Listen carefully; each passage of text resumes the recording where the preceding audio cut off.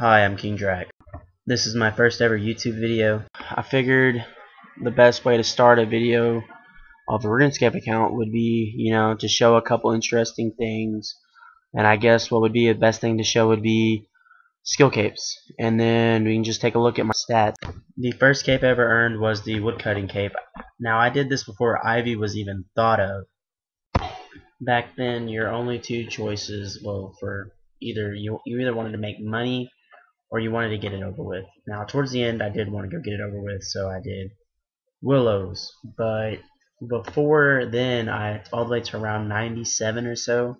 From 75 to that level, I did Magics because I wanted money, of course. But that's how that went.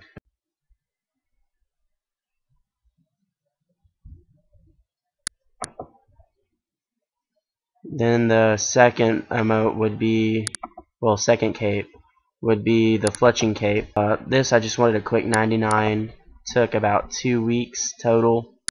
Very simple to do but you know it's it was a stat booster nonetheless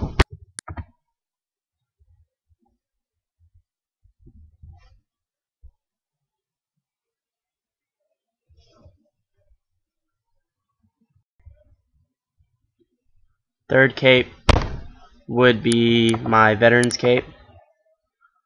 I've played this game forever, it seems like. And then last would be my stats. 1,782 total level, not too bad.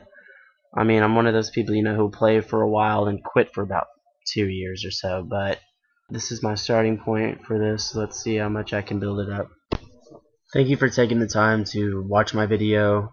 Please take the time to comment, tell me what I can fix. This is after all this is my first ever YouTube video. Please subscribe. I can make different videos, skill guides of how to get to a 99, talking, you know, maybe even make like some kind of little bitty show thing. Just give me ideas, um, give me feedback. But thank you again so much for taking the time to watch the video. This is King Drac signing out.